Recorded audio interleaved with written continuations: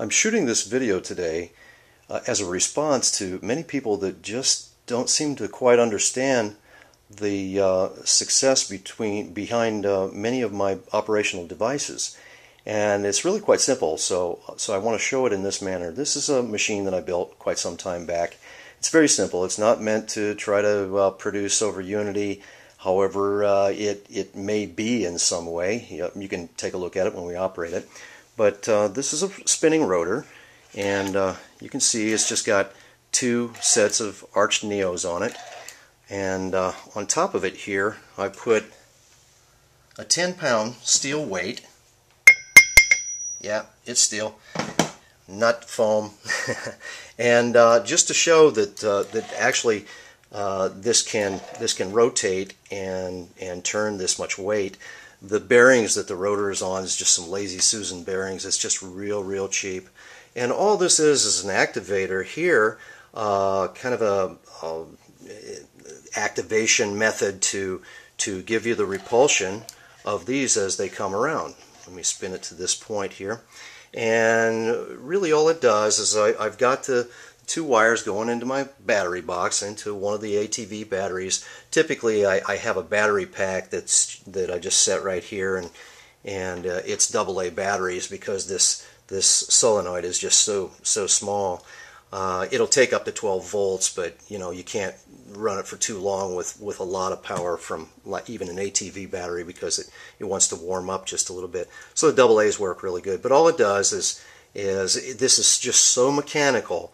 Uh, I tried to keep uh, solid state circuitry out of this uh, totally uh, because uh, you know if there's if there's ever a problem if, if you've got an over unity device and it's got a lot of solid state electronics and and there's some kind of an EMP or, or whatever that's going to just blow that circuitry, keeping it mechanical as much as possible, it's still just going to keep on cranking. So this was really, really mechanical. I mean, I've got a little micro switch here, and what it does is you can see the strange shape of, of this thing, and as it rolls around,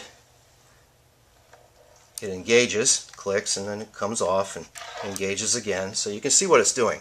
And every time it engages, pull this past. It, this pulls in from the solenoid, pulls in, puts a little power, pulls in, and it's just like taking a magnet and, and using a hand motion on a rotary device with neos on it.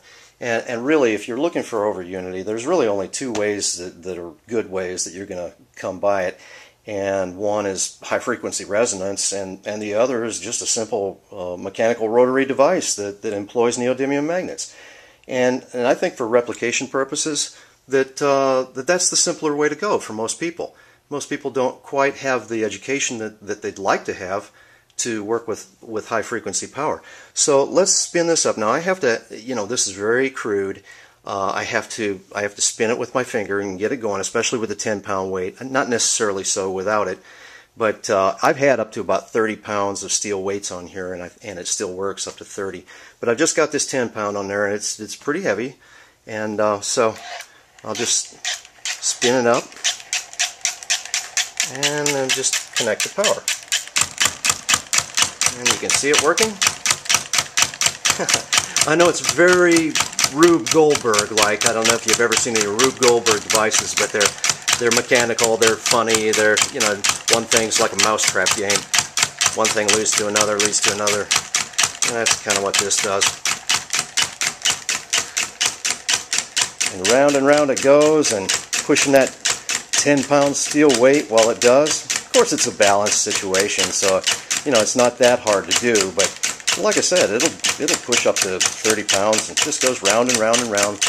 And there you have it. That's it. Yeah, put coils on it, do this, do that. Well, this is one of my just demonstrator devices just to show the concept of the, the power of the repulsion of just uh, a permanent magnet against a, another permanent magnet.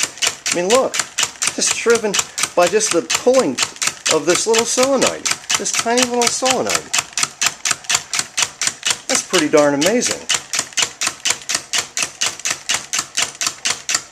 It would go for days. It would just run and run and run. It hardly draws anything. Run, run, run, run, run. Okay. There you have it. Thanks.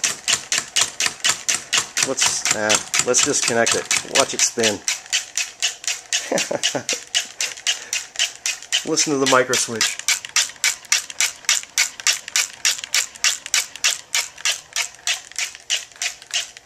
Crazy, isn't it? It sure proves the point. That's what's operating a lot of my equipment. The fact that, that you're pulling that that force field out of these permanent magnets and utilizing in a way to, you know, gain uh, an over unity condition or close to, or even just high frequency if that's what you're into. See you next time.